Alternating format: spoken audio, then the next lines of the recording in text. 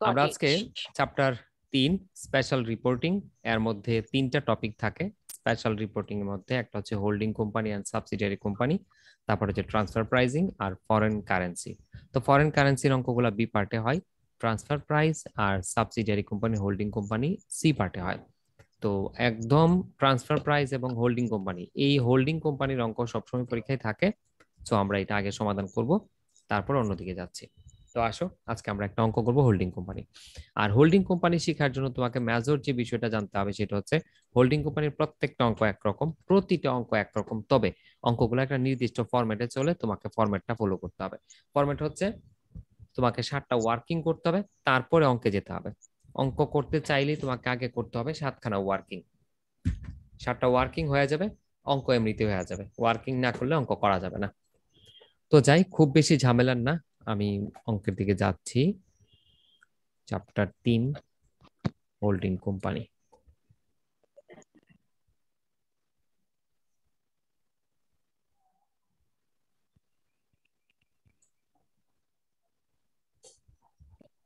holding company maybe পেপারে আমি রাখছি তিনটে অঙ্ক।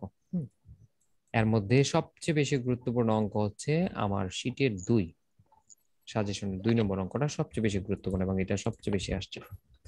অ্যাকচুয়ালি এক হচ্ছে খুবই সিম্পল অঙ্ক দুই হচ্ছে মিডল রেঞ্জের অঙ্ক আর তিন হচ্ছে আরেকটু ডিপ অঙ্ক। হুম তিনের অঙ্কটা আরেকটু ডিপ এই জন্য মিডল রেঞ্জের অঙ্কটা আমরা আজকে করব। আর মিডল রেঞ্জের অঙ্কটাই সবচেয়ে বেশি আসে পরীক্ষায়। প্রশ্নটা একটু দেখো। প্রবলেম দুই। আমি কি শুরু করব? জি স্যার ওকে, যাই যারা আছে দেখো। The following particular prepare a consolidated balance sheet showing the relevant workings. কি বলছে? দ্য ফলোইং পার্টিকুলার নিচের পার্টিকুলারগুলো, তত্ত্বগুলো থেকে prepare a consolidated balance sheet মানে সম্মিলিত একটা ব্যালেন্স শিট করতে হবে। এখন সম্মিলিত ব্যালেন্স শিট কি? নিচে দেখো দুইটা কোম্পানির ইনফরমেশন দেওয়া। একটা হচ্ছে এইচ কোম্পানি আর একটা হচ্ছে S S company H company হচ্ছে হোল্ডিং কোম্পানি আর এস কোম্পানি হচ্ছে সাবসিডিয়ারি কোম্পানি সাবসিডিয়ারি কোম্পানি বা সহযোগী কোম্পানি এই দুই কোম্পানিকে মিলিতভাবে একসাথে করে একটা ব্যালেন্স শিট করতে হবে। ওইটাকে বলা হয় কনসোলিডেটেড ব্যালেন্স শিট তো দেখো অ্যাসেট পাশে অনেকগুলো অ্যাসেট দেওয়া থাকতে পারে। নাম কম বেশি হইতে পারে। Asset plant and machinery stock eight percent ড্যাপ্ট তারপরে পনেরোশো share in stock share in S limited loan by H S limited debtor bill receivable deferred advertising cash in hand বা cash and bank profit and loss account এদিকে আগের আইটেমগুলাই share capital general reserve ডেপ্ট accounts payable loan bill payable profit and loss account actually একটা সাধারণ balance শিটে যা থাকে সবগুলোই এখানে থাকতে পারে। তবে এখানে পার্থক্য শুধু দুইটা কোম্পানির ইনফরমেশন দেওয়া। একটা হচ্ছে এস কোম্পানি একটা এইচ কোম্পানি সবসময় প্রতিটা অঙ্কেই এস এবং এইচ এই দুইটা কোম্পানি থাকে। তবে যদি কখনো তুমি দেখো যে এটা এ কোম্পানি আর এটা হচ্ছে বি কোম্পানি ভয় পাওয়ার কিছু নেই। ওই সবসময় প্রথমটা আমাদের হোল্ডিং কোম্পানি এইচ আর পরেরটা আমাদের সাবসিডিয়ারি কোম্পানি অ্যাস এটা তোমাকেই ধরে নিতে হবে, ঠিক আছে? কোম্পানির নাম চেঞ্জ করলেও আমাদের কিছু করার নেই। নিচে বলা থাকবে কিছু ইনফরমেশন আদার ইনফরমেশন ছিল নিচে। Number one H limited acquire the share in S limited first July two আমাদের এখানে বলতেছে এইচ লিমিটেড কোম্পানি অ্যাস লিমিটেডের শেয়ারগুলোকে কিনে ফেলছে। And that date the profit and loss account shows debit balance টাকা ওয়ান লাখ সিক্সটি থাউজেন্ড যখন H limited যখন এইচ লিমিটেড এস লিমিটেড শেয়ারের শেয়ারগুলো কিনে ফেলে ওই সময় ওই কোম্পানির লাভের অংশ থাকতে পারে লসের অংশ থাকতে পারে। কিন্তু ছিল date the profit and loss account shows debit balance টাকা এক লক্ষ ষাট। ওই সময় লাভ লস অ্যাকাউন্টের ডেবিট ব্যালেন্স ছিল। যদি লাভ লস অ্যাকাউন্টের ডেবিট ব্যালেন্স থাকে, তোমাকে বুঝতে হবে এটা লস আর যদি কখনো ক্রেডিট ব্যালেন্স থাকে, বুঝতে হবে লাভ। আমি এটার একটা এক্সাম্পল দিই। তুমি ধরো কোনো একটা প্রতিষ্ঠান তুমি কিনতে যাচ্ছ। তো প্রতিষ্ঠান কেনার ক্ষেত্রে আমাদের কাছে ওই প্রতিষ্ঠান লাভ সহ কিনতে পারি। ওই প্রতিষ্ঠান যদি লসের প্রতিষ্ঠান হয় লস সহ কিনা যায়। যেমন ইভেলি বিক্রি হয় নাই, কিছুদিন আগে ট্রাই করছিল ইভেলি বিক্রি করে দেওয়ার জন্য। যদি ইভেলি বিক্রি করতে পারতো লস সহ কেউ কিনতো কিন্তু। আর যদি বিক্রি না হয় এই যে অবস্থায় আছে সেই অবস্থায়। কোনো প্রতিষ্ঠান তুমি কিনলে উইথ প্রফিটও হইতে পারে উইথ লসও হইতে পারে। তো আমরা যে প্রতিষ্ঠানটা, আমরা মানে এইচ লিমিটেড আমরা যে প্রতিষ্ঠানটা কিনলাম, সেই প্রতিষ্ঠানটা যখন আমরা কিনতে চাই, তখন তাদের লাভ লস অ্যাকাউন্টের একটা ব্যালেন্স ছিল, সেটা ডেবিট ব্যালেন্স ছিল।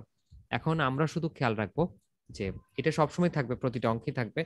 আমরা শুধু খেয়াল রাখব এটা কি ডেবিট ব্যালেন্স নাকি ক্রেডিট ব্যালেন্স যদি ডেবিট ব্যালেন্স হয় লস হিসেবে গণ্য করব ক্রেডিট ব্যালেন্স হলে লাভ হিসেবে গণ্য করব। এটার পোস্টিং কীভাবে করব, এটা একটু পরে যাচ্ছি আমরা। প্রশ্ন দুই ছিল ইনফরমেশন দুই sundry creditor creditor of S limited S লিমিটেডের ক্রেডিটরের মধ্যে ইনক্লুড আছে পঁচিশ হাজার টাকার goods supplied by H limited S limited কোম্পানির অ্যাকাউন্টস পেবলের ভিতরে পঁচিশ হাজার টাকা আছে, যেই টাকাটা পাওনা হচ্ছে এইচ লিমিটেড অন হুইচ ওই পণ্য H limited made a profit twenty five percent on cost ওই পণ্যের ভিতরে ওই পঁচিশ হাজার টাকার মধ্যে এইচ লিমিটেড যখন আমাদের কাছে পণ্য বিক্রি করছিল, তার মধ্যে লাভযুক্ত ছিল পঁচিশ percent half of this goods ওই পণ্য পঁচিশ percent were in stock on stock of S limited S লিমিটেডের স্টকে এমন পণ্য এখনও আছে পঁচিশ হাজার on thirty first December two thousand nineteen দুই হাজার উনিশ সালের, দুই হাজার উনিশ সালের একত্রিশে ডিসেম্বর তারা স্টকে গিয়ে দেখে পঁচিশ হাজার টাকার পণ্য বিক্রি করা হয়েছিল। এইচ লিমিটেডের পক্ষ থেকে এস এর কাছে এস কিনেছিল এইচ বিক্রি করেছিল। ওইটার মধ্যে লাভযুক্ত ছিল পঁচিশ পার্সেন্ট এমন অর্ধেক পণ্য এখনও স্টকে আছে। আচ্ছা এটা ডিটেলস এবং বিস্তারিত আমরা অঙ্ক করার সময় বলব। তারপর হচ্ছে আউট অফ অ্যাকসেপ্টেন্স অ্যাকসেপ্টেন্স হচ্ছে প্রাপ্তি বা গ্রহণ করা। এটা হচ্ছে অন্য কারও পক্ষে যদি আমরা কিছু রিসিভ করি, এটাকে বলা হয় অ্যাকসেপ্টেন্স তো out of acceptance of S limited bill value টাকা eighty thousand were issued favour of H limited who discounted half of them আমাদের অ্যাকচুয়ালি যদি কোথাও অ্যাকসেপ্টেন্স থাকে বা বিহাফ অফ থাকে আউট অফ অ্যাকসেপ্টেন্স অথবা বিহাফ অফ এই দুইটা শব্দের থাকলেই আমরা এই এন্ট্রিটার কোনো কাজ করব না। কেন করব না? তার কারণ হচ্ছে এটা অন্যের পক্ষ থেকে আমরা কাজ করছি বিহাফ অফ উমুকের পক্ষ থেকে। যেমন ধরো, আমাকে কেউ টাকা দেওয়ার কথা ছিল আমি টাকাটা রিসিভ করতে পারতেছি না, আমি কোথাও চলে গেছি, আমি কাউকে দায়িত্ব দিয়ে গেলাম যে তুমি ওই ব্যক্তি টাকা দিলে তুমি টাকাটা রিসিভ করো। তো সে টাকাটা রিসিভ করে আমাকে পরে দিয়ে দিল। তো ওই ব্যক্তির তো এটা কিছুই না। সে টাকা পেয়েছে বাট ওই টাকা কিন্তু তার না। যেমন ধরো আমাদের একটা বিল আসবে দেশের বাইরে থেকে আমরা একটা বিল পাবো। বিলটা ব্যাংক রিসিভ করছে আমাদের পক্ষ থেকে। ব্যাংক বিলটা রিসিভ করে আমাদের কাছে টাকাটা পাঠাইলো বা আমাদের অ্যাকাউন্টে টাকাটা জমা করল। টাকাটা ব্যাংক পেয়েছে বাট টাকা কিন্তু ব্যাংকের না। ব্যাংক কি করেছে? বিহাফ অফ মি আমার পক্ষ থেকে সে কাজ করেছে। তো কেউ যদি বিহাফ অফ হিসেবে কাজ করে কারও পক্ষে কাজ করে, এটা তার সম্পত্তি হিসেবে কাজ করে না। এই জন্য কোনো এন্ট্রিতে যদি আমরা পেয়ে যাই বিহাফ অফ অথবা যদি অ্যাকসেপ্টেন্স থাকে, তাহলে এই এন্ট্রিটার আমরা কোথাও কোনো কাজ করব না। আর করলে অ্যাসেট পাশেও করতে হবে লাইবিলিটি পাশেও করতে হবে। এই জন্য আমরা এটা টোটালি বাদ দিয়ে দিব। আমরা তিন নম্বর এন্ট্রিটা বাদ দিয়ে দিলাম। তারপর ছিল চেক চার নম্বর এ চেক ফর টাকা two thousand send to H limited H লিমিটেডের কাছে আমরা একটা চেক স্যান্ড করছি ইন রেসপেক্ট অফ লোন লোনের বিপরীতে was not receive by H H limited এখনও এটা রিসিভ করে নাই until fifth January two thousand twenty দুই হাজার বিশ সালের জানুয়ারি পাঁচ তারিখ পর্যন্ত সে টাকাটা রিসিভ করবে না মানে তারপরে পাবে। আমরা এইচ এর কাছে একটা চেক পাঠিয়েছিলাম দুই হাজার টাকার এবং সে এখনও পায়নি। চেকটা তবে পাবে কবে? জানুয়ারি দুই হাজার পাঁচের দুই হাজার বিশের পাঁচের পরে সে টাকাটা পেয়ে যাবে। এই পর্যন্ত আমরা যা পেয়েছি। আমি তোমাকে বলব, সমন্বয়ে অনেক গল্প থাকতে পারে। এগুলা পড়ে আস্তে আস্তে আমরা শিখে যাব কখন কি করতে হবে। তুমি শুধু এতটুকু জানো যে আমাদের কি করতে হবে। আমরা একটা ব্যালেন্স শিট করব কনসোলিডেটেড ব্যালেন্স শিট সমন্বিত সমন্বিত একটা ব্যালেন্স শিট করব। বাস একটুকেই জেনে রাখি। কিছু সমন্বয় থাকবে, কিছু সমন্বয় দেওয়া থাকবে, এগুলার পোস্টিং দিব। ধীরে ধীরে আমরা বুঝে যাব কি পোস্টিং দিতে হবে। আমরা শুরু করতে পারি। ভিতরেরগুলো আস্তে আস্তে বুঝব। আমরা শুরু করি। ওয়ার্কিং করা লাগবে ষাটটি। একটা একটা করে ওয়ার্কিং করি, তাহলে তোমার জন্য হয়ে যাবে। একটু দেখো। প্রথম ওয়ার্কিং তুমি খাতায় লিখো, অঙ্কটা তুমিও করে ফেলো নয়তো বা বাসায় করতে তোমার কষ্ট হবে বেশি। প্রথম কাজ, লিখো working one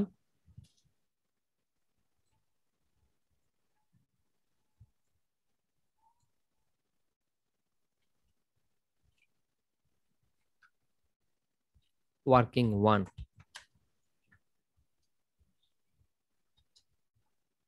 calculation of ratio আমাদের প্রথম কাজ হচ্ছে রেশিও বের করতে হবে। এখন কে যেন কিনতেছে আর কে বিক্রি হয়ে যাচ্ছে, তুমি একটু খেয়াল করো। একটা কোম্পানি আর একটা কোম্পানিকে কিনে নিচ্ছে। তোমাকে ওই দুটা কোম্পানির রেশিও বের করতে হবে। Calculation of ratio H to S car ratio H এবং এস এর আমরা রেশিও বের করব। এখন রেশিও বের করার জন্য করণীয়। তুমি দেখো তো কয়টা শেয়ার কিনে ফেলছে? তাদের কয়টা শেয়ার ছিল? এস কোম্পানির শেয়ার ক্যাপিটালে যাও একটু। এস কোম্পানির শেয়ার ক্যাপিটাল ছিল দুই লক্ষ টাকা। এস কোম্পানির শেয়ার ক্যাপিটাল ছিল দুই লক্ষ টাকা।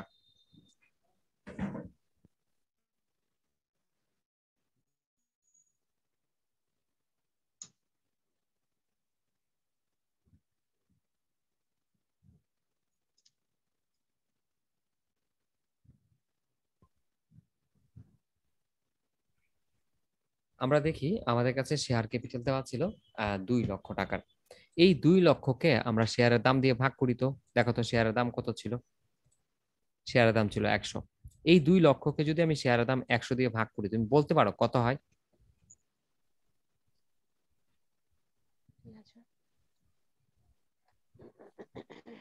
কেউ কি আছি? দুই হাজার। হয় ওকে এই দুই হাজার শেয়ার হচ্ছে এস এর টোটাল শেয়ার হচ্ছে দুই হাজার।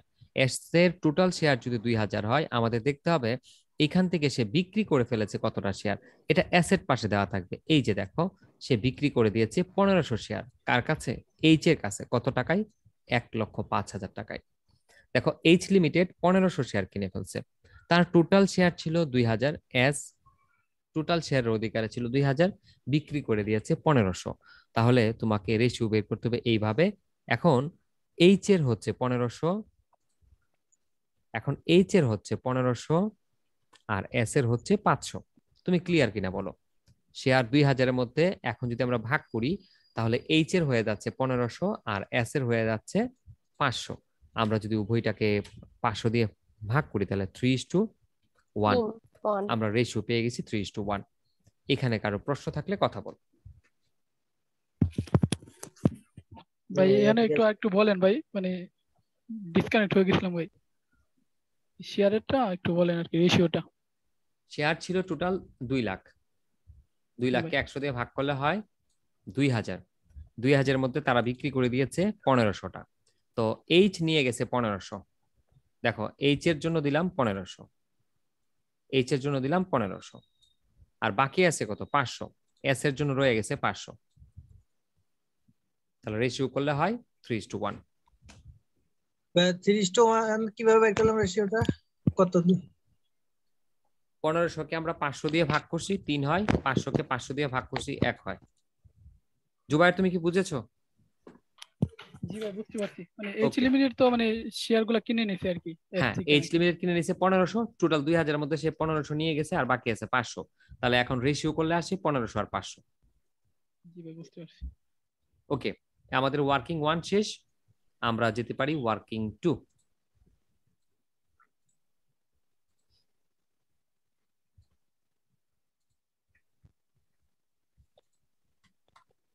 ওয়ার্কিং টু হচ্ছে কারেন্টের প্রফিট লিখো কারেন্ট প্রফিট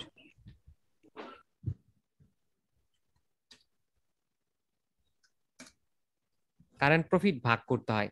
কারেন্ট প্রফিট আমরা লিখব। দেখো তো কারেন্ট প্রফিটটা কত? কারেন্ট প্রফিট বলতে আমরা প্রতিষ্ঠানটা কিনে ফেলার পরে প্রতিষ্ঠান কত টাকা প্রফিট করেছে সেটাকে বলা হয় কারেন্ট প্রফিট আমরা নিজেকে ধরবো এইচ লিমিটেড সেই হিসেবে আমরা প্রতিষ্ঠানটা কিনে ফেলার পরে তাদের আর কত টাকা প্রফিট ছিল বা কত টাকা প্রফিট হয়েছে সেটা বের করব। দেখো, আমরা যখন ব্যবসাটা কিনতে যাই, ওই সময়ে তাদের ডেবিট ব্যালেন্স ছিল এক লক্ষ ষাট হাজার মানে লস ছিল এক লক্ষ ষাট হাজার। আর এখন গিয়ে দেখো তাদের অ্যাকাউন্টে লসের পরিমাণ কত? Profit and loss account profit and loss account এখন এক লক্ষ। পেয়েছ কি? আমরা যখন ব্যবসাটা কিনি আমরা যখন ব্যবসাটা কিনি হ্যাঁ। তখন প্রতিষ্ঠানের লাভের পরিমাণ ছিল লসের পরিমাণ ছিল এক লক্ষ ষাট হাজার। আর এখন প্রতিষ্ঠানের লসের পরিমাণ মাত্র এক লক্ষ। তাহলে এক লক্ষ ষাট হাজার টাকা লস যেখানে ছিল সেখানে লসের পরিমাণ এক লক্ষ হইল কি করে? মানে এই চলতি বছরে সে ষাট হাজার টাকা লাভ করছে লাভ করার কারণে এই লসটা ব্যাক আপ হয়েছে নাকি বুঝি নাই? হ্যাঁ লাভ করলেই লস কমে যায়। যেহেতু লসের পরিমাণ ছিল এক লক্ষ ষাট হাজার এখন লসের পরিমাণ হচ্ছে মাত্র এক লক্ষ ষাট হাজার টাকা কমেছে একমাত্র লাভ করার কারণে। এই জন্য এটাকে আমরা ধরবো কারেন্ট প্রফিট তো আমি লিখছি, দেখো, তুমি লিখো এক লক্ষ ষাট হাজার মাইনাস এক লক্ষ ইকুয়াল টু ষাট হাজার। এই ষাট হাজার হচ্ছে আমাদের প্রফিট কারেন্ট প্রফিট এই ষাট হাজার হচ্ছে আমাদের কারেন্ট প্রফিট এই কারেন্ট প্রফিটকে তোমার ভাগ করে দিতে হবে। এইচ লিমিটেড এবং এস লিমিটেডের মধ্যে। এইচ লিমিটেড এবং এস লিমিটেডের মধ্যে ভাগ করে দিতে হবে।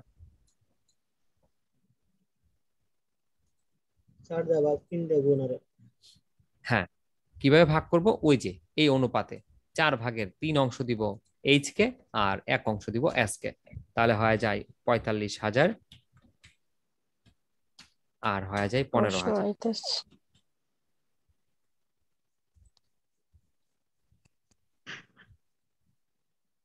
সমস্যা কারও ভাইয়া? কেউ কি হাসে নাকি কাঁদে বুঝলাম না। না ভাইয়া সমস্যা নেই।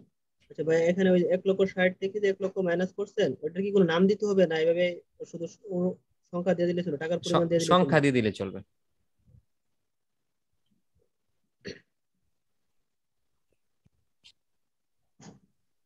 ভাইয়া এটা আবার একটু বুঝান ভাইয়া। আমাদের কাজ শেষ তো? জি। এই তুমি এদিকে দেখো মার্ক তুমি দেখো এদিকে তাকাও দুইটা মার্ক করা টাকা আছে। এখানে একটা টাকা ছিল এক লক্ষ ষাট ভিতরে একটা টাকা হচ্ছে এক লক্ষ। এই দুইটার পার্থক্য ষাট ঠিক আছে? ঠিক আছে ঠিক আছে। ওকে এবার আসো, আমাদের ওয়ার্কিং থ্রি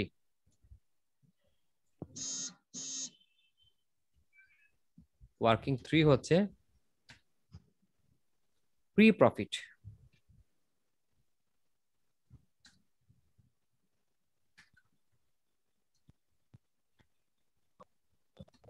প্রি প্রফিটের আরেক নাম ক্যাপিটাল প্রফিট তুমি যে কোনো নাম দিতে পারো।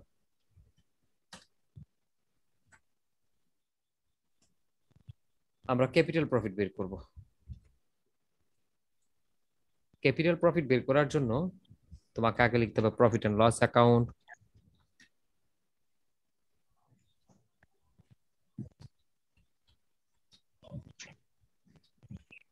আচ্ছা প্রি প্রফিট আর কারেন্ট প্রফিটের মধ্যে ডিফারেন্সটা তোমাকে বলি। কারেন্ট প্রফিট ছিল কিন্তু আমরা ব্যবসাটা কিনে ফেলার পরে প্রতিষ্ঠান লাভ করল নাকি লস করল? আমরা ব্যবসা কেনার পরে প্রতিষ্ঠানের লাভ ও লসকে বলা হয় কারেন্ট প্রফিট আর আমরা ব্যবসাটা কেনার সময় কেনার সময় যখন আমরা কিনতে গেছি, তখনই যদি প্রতিষ্ঠানের লাভ থাকে, ওইটাকে বলা হয় প্রি প্রফিট যদি লস থাকে, ওইটাকে বলা হয় প্রি লস তো প্রি প্রফিট আর লস আমরা লিখছি বাট ওয়ার্কিং করে দেখব লাভ লস কি বের হয়? প্রি প্রফিট আর লস অথবা ক্যাপিটাল প্রফিট আর লস আমরা আবার বলি যে, আমরা প্রতিষ্ঠানটা কেনার সময় যদি প্রতিষ্ঠানের লাভ থাকে, সেই লাভকে বলা হয় প্রি লাভ আর যদি লস থাকে তাহলে প্রি লস আমরা লিখছি প্রি প্রফিট আচ্ছা এন্ড লস লিখে দিই। আর এদিকে capital profit and loss and loss না অর লস কারণ দুইটা হবে না যে কোনো একটা হবে। Profit or loss profit or loss দেখো এটাকে বলা হয় প্রি প্রফিট অর লস অথবা capital profit or loss pre profit or loss capital profit or loss আমরা কীভাবে বের করব? আমরা ব্যবসাটা যেদিন কিনতে যাই ওই দিন লাভ ছিল নাকি লস ছিল? তোমার মনে আছে? লস ছিল। এক লক্ষ ষাট হ্যাঁ, হাজার টাকা লস ছিল হ্যাঁ ভাই। এক লক্ষ ষাট হাজার টাকা লস ছিল। এই যে লিখলাম প্রফিট এন্ড লস অ্যাকাউন্ট মাইনাসের তো এই টাকাটা দুইজনের মধ্যে ভাগ করে দাও। এই লসটা দুজনের মধ্যে ভাগ করে ফেলো। কারা কারা নিবে? এই লসটা নিবে এইচ লিমিটেড কিছু টাকা এবং এস লিমিটেড কিছু টাকা। এই এক লক্ষ ষাট হাজার টাকা দুজনকে ভাগ করে দাও। এক লক্ষ ষাট হাজার টাকা তাদের অনুপাতে ভাগ করলে মেবি এক লক্ষ বিশ হাজার। একটু চেক করে দেখো এক তো হ্যাঁ চল্লিশ। চল্লিশ। আমরা ষাটটা ওয়ার্কিং করব। এর মধ্যে অলরেডি তিনটা ওয়ার্কিং কমপ্লিট তিনটা ওয়ার্কিং হয়ে গিয়েছে। ওয়ার্কিং এক হচ্ছে রেশিও ওয়ার্কিং দুই হচ্ছে কারেন্ট প্রফিট ওয়ার্কিং তিন হচ্ছে প্রি প্রফিট অর লস অথবা ক্যাপিটাল প্রফিট অর লস তুমি যেই নামেই বলো। এই তিনটা ওয়ার্কিং প্রি লসটা বাদ দেওয়ার পর আমাদের ওয়ার্কিং ফোর আচ্ছা তিন পর্যন্ত কারও প্রশ্ন আছে কি? আমরা ফোর্থ ইয়ারে থার্ড ইয়ারে করেছি এগুলা। জি।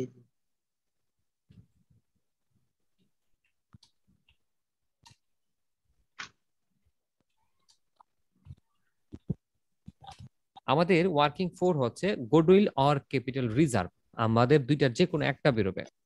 হয়তো বেরোবে গুডউইল নয়তো বেরোবে ক্যাপিটাল রিজার্ভ চার নম্বর ওয়ার্কিং হয়তো গুডউইল নয়তো ক্যাপিটাল রিজার্ভ তো গুডউইল অর ক্যাপিটাল রিজার্ভ বের করার জন্য আমাদের করণীয় প্রথমে face value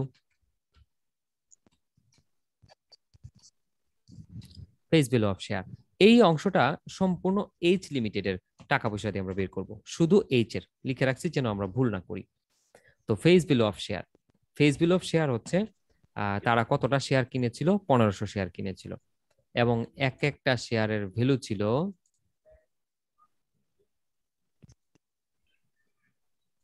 একশো টাকা? একশো টাকা। এক একটা। শেয়ারের ভ্যালু ছিল একশো টাকা। আচ্ছা আমাদের বিরতি নিতে হবে।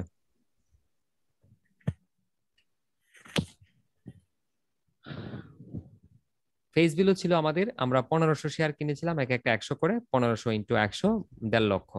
ফেস বিলও লিখব। আমি একটু পরে আসছি।